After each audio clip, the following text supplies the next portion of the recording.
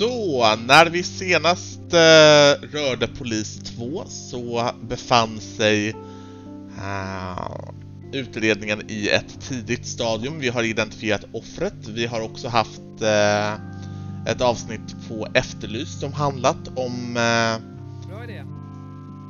om eh, fallet. Så nu så ska vi helt enkelt invänta och se vilka tips som Efterlyst kan ha gett oss.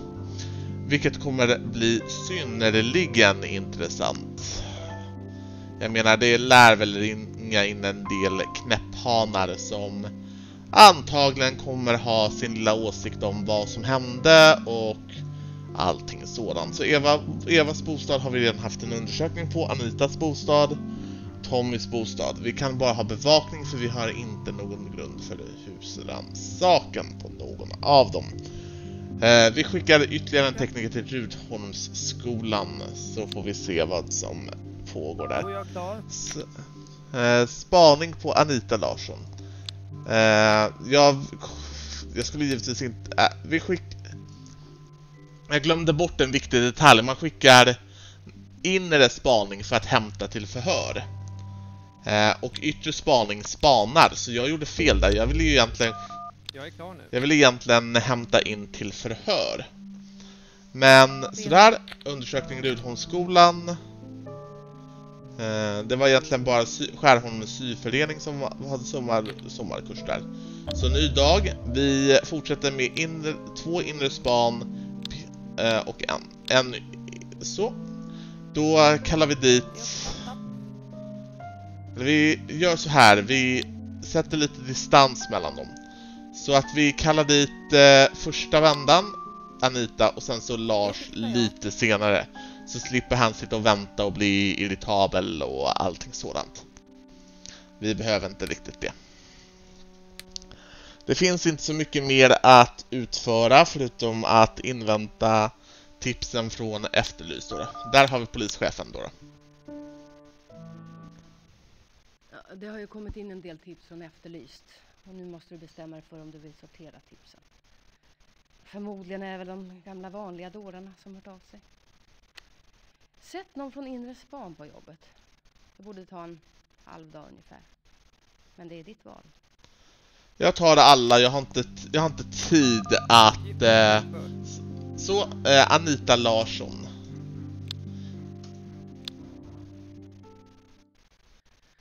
Jag heter Anita Larsson och jag bor i Hagsätra.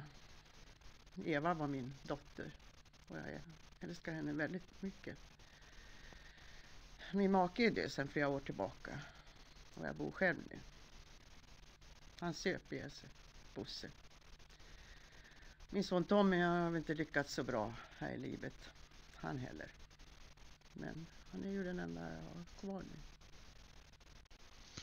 Då får vi höra om Eva.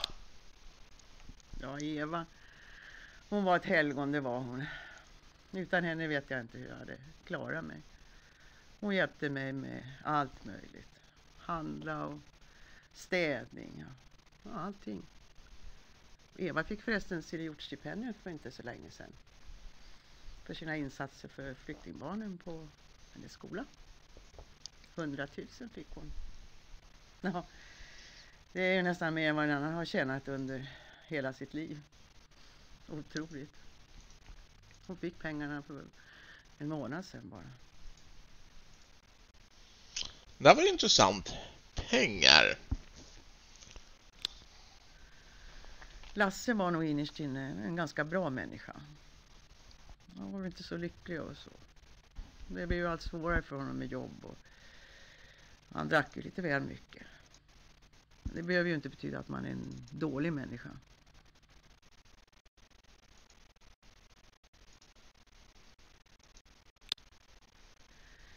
Eva ringde mig den 9 juni. Det var sista gången jag talade med henne. Hon var lite deppig den där dagen. Men Sen så skulle hon kanske åka iväg på semester med någon karl på motorcykel. Men då hade hon lovat att ringa mig först. Men det gjorde hon aldrig.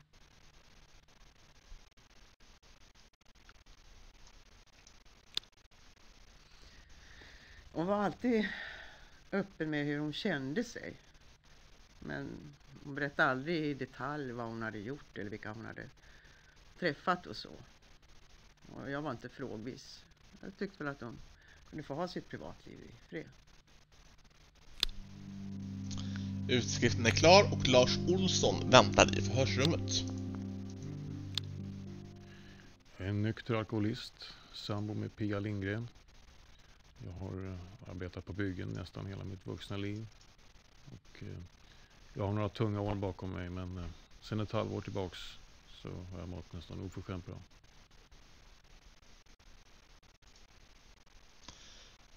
Vi kan väl låta honom berätta om Eva. Eva var en väldigt stark och pålitlig person som ingen satte sig på. Jag tror hon reagerade så starkt på mitt drickande eftersom hon, hon har sett Anita, sin mamma, eh, levt ett liv som alkoholisthustru och hon ville inte hamna i samma sits själv. Och, ehm, ja, det var därför hon reagerade som hon gjorde.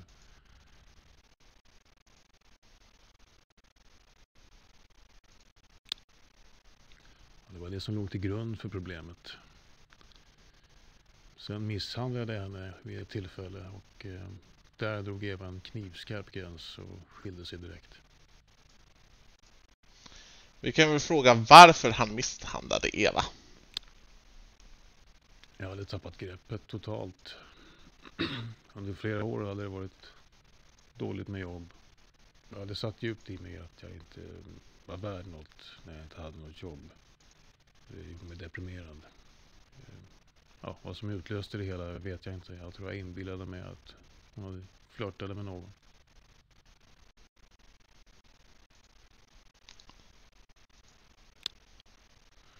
Jag träffade faktiskt Eva första gången på över ett år. I slutet av maj. Det, var, det kändes jobbigt att träffa henne igen men eh, ja, alla skuldkänslorna från att jag hade slagit henne. Och, men det var ändå bra att vi sågs.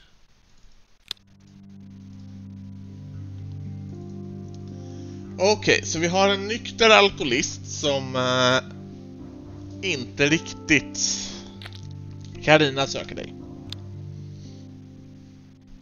Jag tänkte jag skulle ta och höra med Siri Hjorts stipendiefond om Eva Larssons pengar verkligen har betalats ut. Vad tror du om det? Jag tror att det är en bra idé. Kör på det. Eh, en man har ringt och sagt att han såg en roddbåt. Eh, såg en mystisk segelbåt. Båten gick för motor trots fint segelvägar. Eh, I zigzag längs med öarna och såg ut att leta efter någonting. Hedem, äh, affär i Hedemora säger att de säljer ringen men inte vilka, vilka som köpt den.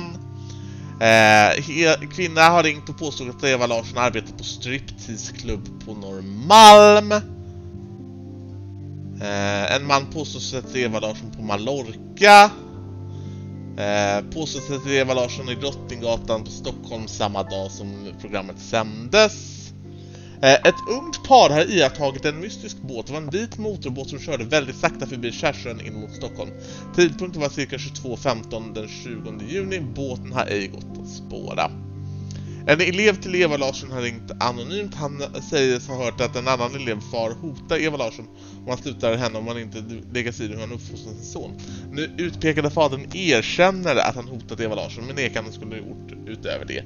Han har alibi. En barndomsvän har hört av sig och berättat att Eva Larsson brukade snatta då hon gick i högstadiet. En resebyrå säger sig ha sålt en flygbiljett till Eva Larsson men fel person. Um, Lennart Hölls... Eh, ah, här har vi någon som faktiskt har sett en sopsäck ligga och flyta. Han har antecknat tidsturen. Eh, och eh, det verkar ha varit 15 och 15 den 11. Tips angående nagellack. Alla ringer in och påstår sig ha köpt den. Eh, en containerletare har hittat en sopsäck med blodiga kläder i en container. Han blev rädd och slängde tillbaka sopsäcken. Containern uppges stå i Skärholmshamnen. Skärholmshamnen, var det den? Där. Eh, undersökning där direkt. Omedelbart. Eh, beskriver en eh, mystisk man som strykt omkring. Han är uteliggare. En ring påstås att den tappat den 3 maj och eh, påstår att den är stulen. En anonym man har ringt och uppgett sig. Mannen upp påstår att han ett tillfälle hört Tommy säga att han ska knäppa sin syster och ta hennes pengar. Eh, pengarna från Siri Hjorts stipendiefond har betalats ut till Eva Larsson innan hennes död. Motivering till stipendiet. Sådär. Jag tror att vi snackar med eh, brorsan då. Ah, typiskt. Ny dag. Man har aldrig tillräckligt mycket tid känns det som, utan så fort man verkar komma in i ett groove här så uh, är det alltid så att det, det kommer en ny dag. Men vi får se. Vi har eh, ett förhör att genomföra och så sen så en teknisk undersökning. Vi får hoppas att containerns innehåll är orört. Eh, på båtklubbens medlemslista återfanns Pia Lindgren, äg, medlem i klubben och ägare av båt. Göran Maria Engblom, ägare av båt. Göran Engblom, medlem i klubben. En grön sopsäck med blodiga kvinnokläder påträffades i en sopcontainer vid hamnens utgång. Sopcontainern skulle ha tömts för en vecka sedan, men tömningen var försenad på grund av sjukdom. Kläderna omhändertogs av tjänstgörande polisman och fördes till polisstationen. Utmärkt! Bra jobbat! Det verkar som Efterlyst faktiskt kan ha hjälpt till att lösa det här fallet. Om kläderna då tillhör Eva Larsson. Ja, Eva var min lilla syra då va? Jag vet inte vad man ska säga mer. Jag har inte riktigt fattat vad som har hänt än. Jag bor i Hagsätra. Yes, vi låter att uh, vi ber honom berätta om Eva. Ibland kunde jag reta mig på att hon alltid skulle vara så jävla duktig och, och god. Va? Men innerst inne så älskar jag henne. Fattar ni? Jag älskar henne. Hon var en förbannat bra människa. Hon fanns alltid där. Vi kan väl fråga vad han vet om för detta man, Lars Olsson. Lasse misshandlade Eva innan hon stack ifrån honom. Men hon anmäler aldrig. Så vitt jag vet i alla fall. Han var en jävla råtta. Vi kan väl fråga varför Eva aldrig anmälde misshandeln. Hon kanske inte hade någon större förtroende för rättsväsendet. Vad vet jag? Vi kan se om han vet någonting mer om Lars. Ja. När han och Eva var gifta så sökte han kontakt med mig om någon jävla anledning. Som om vi skulle höra ihop på något sätt. Sen pucklade han på syrran. Och utskriften och ny dag. Vi fortsätter med samma uppsättning som förut. Och så går vi till kartan och eh, vi tar en titt på en undersökning på Pi Ah, vi måste ta kläderna först, men annars så skulle det vara väldigt intressant att köra en undersökning av alla båtarna. Eh, kläder, sopsäck med kläder. Vi borde tagit en till tekniker idag. Inser jag nu. Eh, vi kan väl snacka med offrets chef.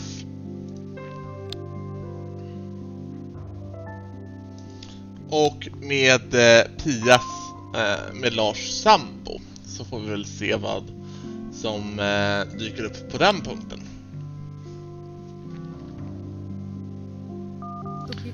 Teknisk undersökning på kläder, då sätter vi dig på eh, sopsäcken med en gång. Um, röd långärmad bomullströja. Eh, skador, tröjan är sönder på flera ställen. Eh, har orsakats med ett fast föremål, troligen en kniv. Skadorna finns i höjd med hjärtat. Blå jeansbyxor av märket Rocky, svarta strumpor, vita underbyxor med blodfläckar, höga svarta läderskor med vitt foder, några blodstänk på svensk. Blodet är i samma blodgrupp som Eva Larssons. För att med säkerhet fastslå att det hennes blod krävs en DNA-analys av blodet. Provsvaret kan tyvärr dröja, hälsade SKL. Men kan de skynda på, de lata jävlarna? Vi har ett mord att utreda. Jag är rektor på Rydaholmsskolan. Jag är gift och har två barn som båda har flyttat hemifrån. Jag eh, var först lärare i naturvetenskap innan jag kom in på den här banan. Så sitter jag också i stadsdelsnämnden här ute. Vi kan väl låta honom berätta om Eva. Eva var en mycket bra lärare. Hon hade patos och stark vilja. Hon gjorde ett mycket bra arbete med sitt projekt för flyktingbarnen. Det var imponerande. Och vi får hoppas att det här projektet kan fortsätta nu, även efter Evas bortgång.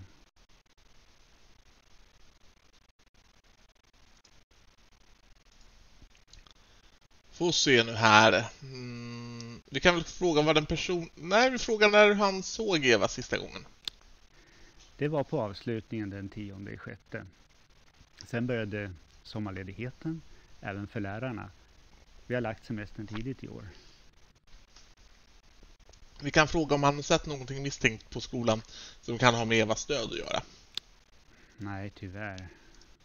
Det är förhållandevis bra stämning på den här skolan. Fina elever har vi också. Då så. Då ska vi väl fråga hur hans personliga relation till Eva var.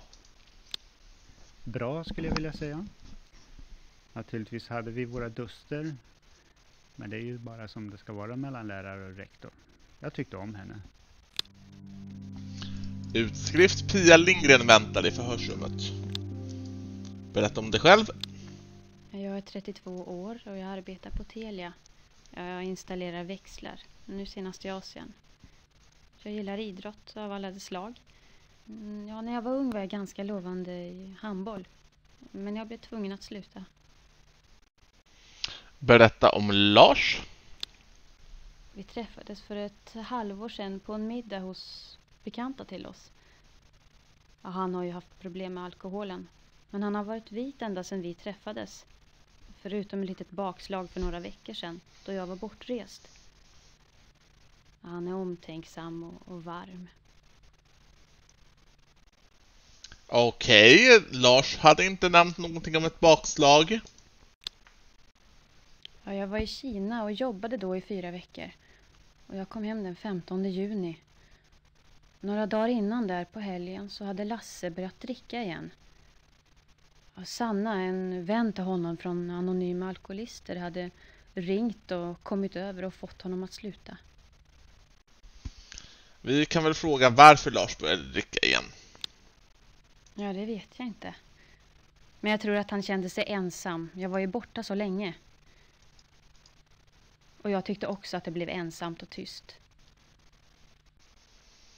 Vi kan fråga vad Pia visste om Eva. Ja, inte så mycket. Men de gångerna som Lasse har pratat om henne så har han alltid visat stor respekt för henne. Ja, hon var lärare så mycket vet jag.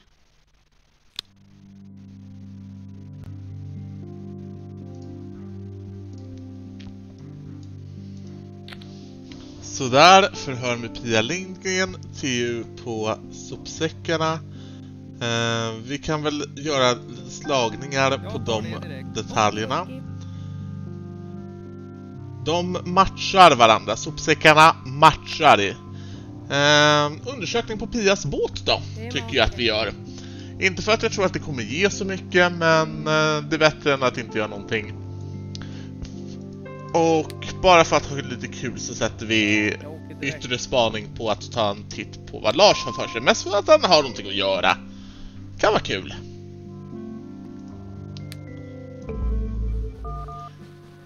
Sopsäcken levereras, ja det är exakt samma som vi fick på uh, den förra sopsäcken. Anita Larsson känner igen kläderna och hon bekräftar att hon tillhör Eva Larsson. Hon påpekar uh, vid identifieringen att det saknas ett halsband som dottern alltid bar. Smycket var i silver och föreställde en, en, hennes stjärntecken en skorpion. Smycket hade hon fått av hennes far. Eh, jag ska bara slå på textningen här för jag insåg att jag hade glömt bort att göra det så kan vi se till att spara medan vi gör det också. Sådär. Undersökning Pias båt. Vid undersökningen hittades inga fynd som var intresse för utredningen. Kläder, sopsäck med kläder. Ehm, ja, det ser ut att ha varit rätt okej här faktiskt.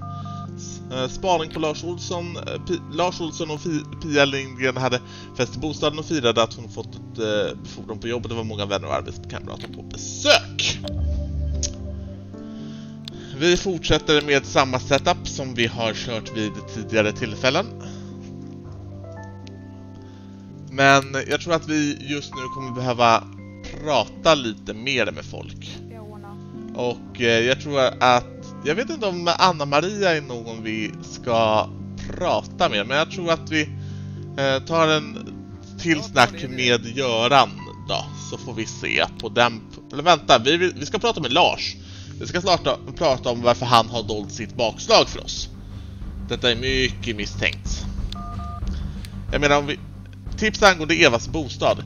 Mm. En granne har ringt till polisen och meddelat att balkongdörren till Eva Larssons bostad är öppen. Han misstänker att det har varit inbrott. Okej, okay, då tar vi en titt på Evas bostad. Vi skickar dit en undersökande konstapel med en gång. Som får ta en titt på vad som sker där.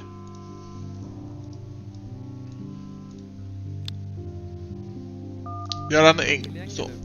Vi kan väl fråga om själva stipendiet då. då. Ja visst. Eva fick ju stipendiet personligen. Men vi var nog många som tyckte att hela skolan berördes av det här. Själv var jag ganska stolt över att ha medverkat till att projektet genomfördes. Vi kan kolla om det var någon som tyckte att det var fel att hon fick stipendiet. Nej, det tror jag inte. Möjligtvis kunde man väl tycka att skolan som helhet kunde ha fått lite mer uppmärksamhet. Vi kan kolla om eh, han trivs med sitt arbete. Ja, verkligen. Det är stimulerande att arbeta med människor. Det är krävande, men spännande. Och om han kände någon i Evas familj. Nej, men jag har faktiskt träffat både mamman och brodern vid något enstaka tillfälle.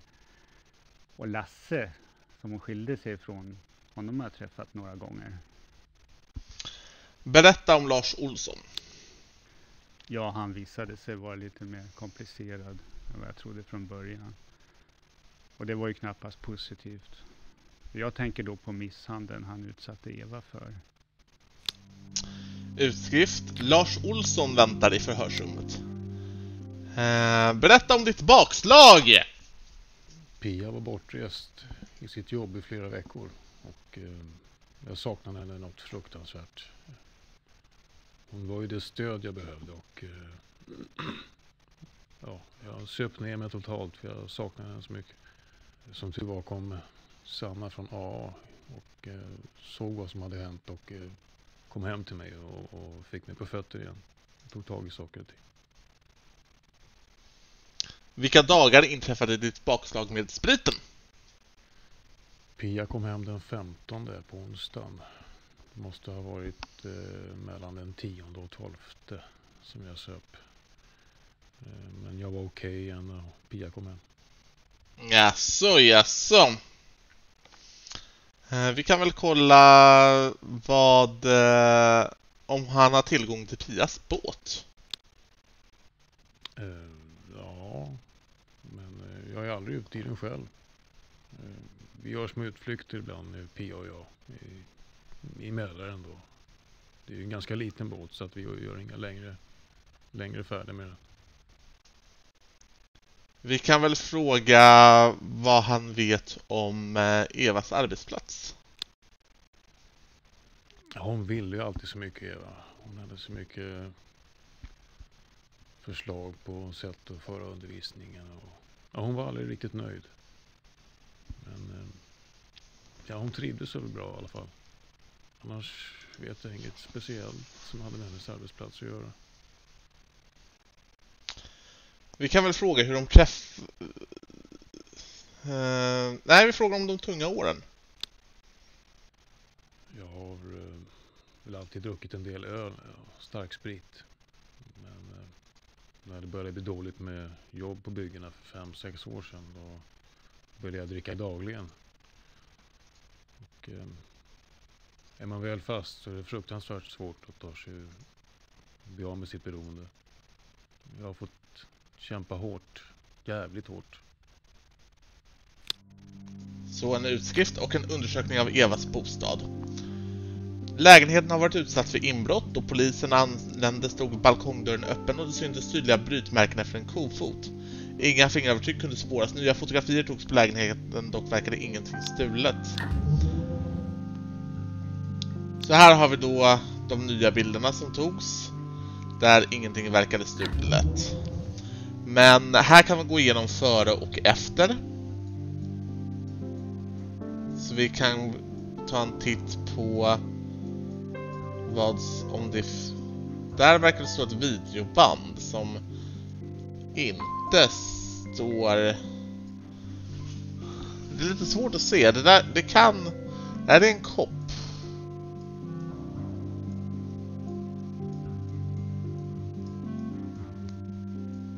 Här är jag som sagt före.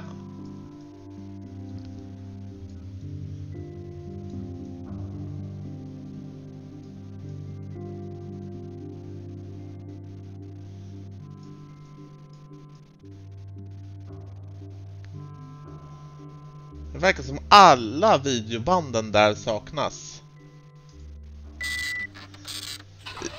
I den valda delen av fotografiet taget efter inbrottet saknas tre stycken videokassetter. Bra, då vet vi det.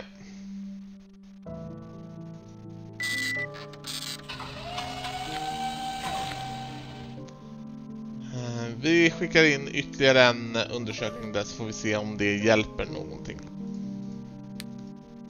Vi kan väl skicka någon efter Tommy och någon som gör en slagning på Susanna Kindstrand.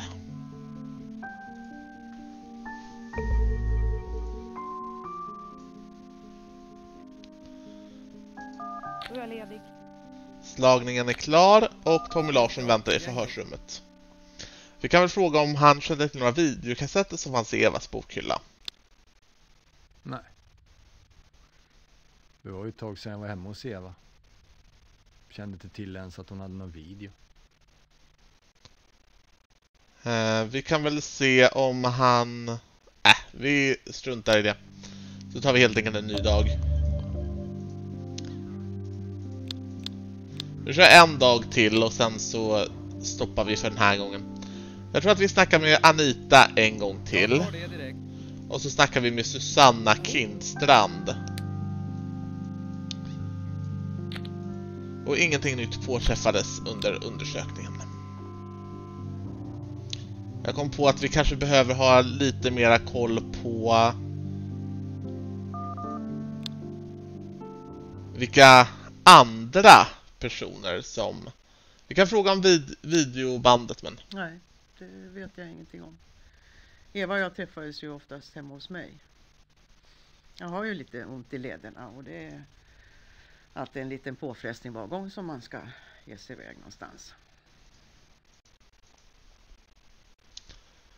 Okej, okay, men då kollar vi om eh, vad hon vet om semesterresan. Jag tror att den här mannen hette Dag. Men Nina känner nog till allt det här bättre. Ja, Eva hade ju lovat ringa om hon skulle åka. Men när hon inte gjorde det så efter... Jag blev orolig och efter några dagar så ringde jag polisen. Jag såg för mig att hon hade fått en hjärtattack och låg där i lägenheten alldeles ensam. Vi kan väl snacka om varför hon var deppig innan hon pratade med oss senast. Ja, hon hade grälat med sin väninna Nina som bor i Evas hus. Och det var någonting annat som tyngde henne också. Jag frågade henne vad det var men hon ville inte prata om det. Vi kan fråga vilka Eva umgicks med. Och framförallt med sin väninna Nina som bor i samma trapp som Eva. En trevlig flicka. Öppen och pratglad. Jag tror att hon i sin tur hade många vänner som även Eva umgicks med. Men det var Nina som jag har träffat. Yes, men då Susanna Kindstrand väntar. Men vi ska nog göra en slagning på den här Nina och snacka med Susanna. Nej, Susanna Kindstrand har gått hem. Det får hon inte göra. Skäms. Hon, hon får väl sitta och vänta på att vi pratar med henne. Skandalöst. Det finns inte så mycket mer att ta en titt på här.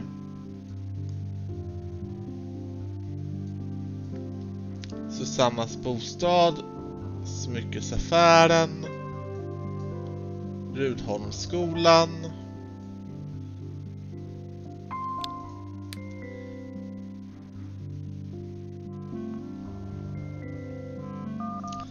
Slagningen på Nina är klar. Då ser vi till att kalla in Nina på förhör och Susanna Kindström väntar i förhörsrummet. Eh, jag är 28 år. Bor i Farsta. Ensam. Inga barn. Mina föräldrar har jag ingen kontakt med. Det har jag inte haft på flera år, men det är inget jag sörjer. En del skulle nog beskriva mig som eh, omåttlig. Men själv skulle jag beskriva mig som passionerad. Tyvärr gäller det också sprit. Vi kan väl låta Susanna berätta om Lars. Ja, vi är ju båda alkoholister. Och ibland räcker det anhöriga inte till. Men det finns vissa grejer som bara alkisar fattar. Jag träffade Lars på AA. Anonyma alkoholister som det heter. Vi, vi fann varandra direkt som vänner. Eh, Du hjälpte Lars den 12 berätta. Ja, vi, vi brukar ringa till varandra och så här.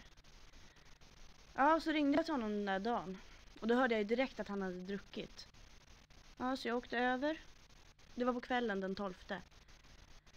Och han var inte i bra form när jag kom. Vi kom fråga varför hon trodde att Lars hade supit. Ja, men det är väldigt vanligt med sådana här bakslag.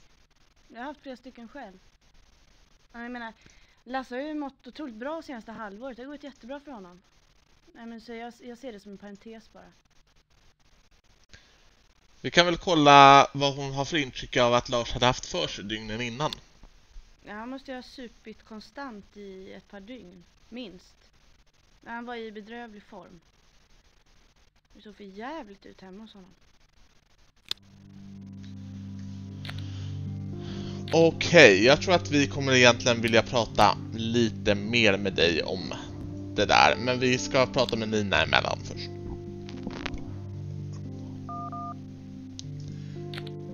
Nina Engström tycks ha varit tom i flera dagar. Ingen av hennes grannar vet vart hon har befunnit sig. Det var ju intressant det. Undrar varför Nina är borta då?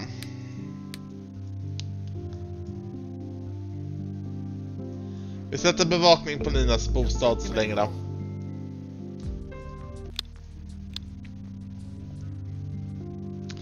Så kör vi ett förhör till och sen så får vi ge oss för ikväll.